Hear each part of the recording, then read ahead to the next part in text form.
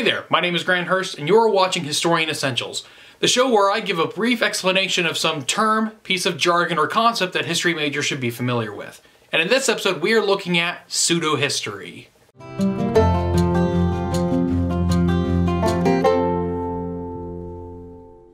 We've covered the term history in a previous installment, so we'll just take that definition. But the other part of the word, pseudo, is a Greek word meaning false, lying, deceptive, or in appearance only. So when we combine these terms together, we get the false appearance of knowledge from inquiry. Basically, pseudo-history tries to look like history, but it isn't. Sometimes pseudo-history is created deliberately, usually with some kind of political motive. An example of this are Holocaust deniers, who go out of their way to misrepresent facts and data. It's not just anti-Semitic, it's also bad history. Another example of politically motivated pseudo-history would be the works of Ivan Van Sertima, whose book, They Came Before Columbus, was motivated by the Black Power movement of the 60s and 70s. On the other hand, sometimes pseudo-history can be accidental. A person can misrepresent facts simply because they're not super familiar with the subject that they're talking about, or they don't have the training or skills. A common trait of unintentional pseudo-history are works or theories that use mythology as history, not understanding the proper methodology of how to pull history out of those kinds of texts or how to properly use them. Pseudo-history, of course, is a pejorative term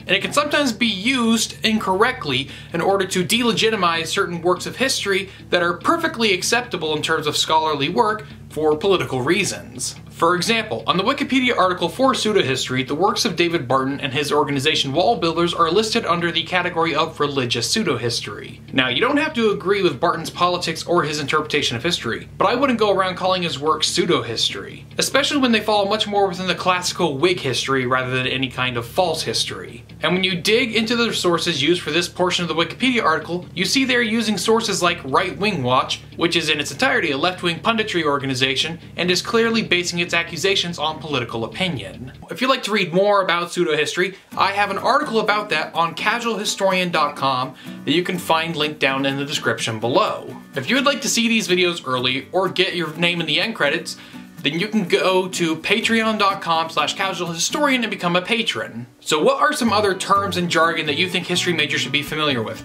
Let me know down in the comments below. Thanks for watching and I'll see you next time.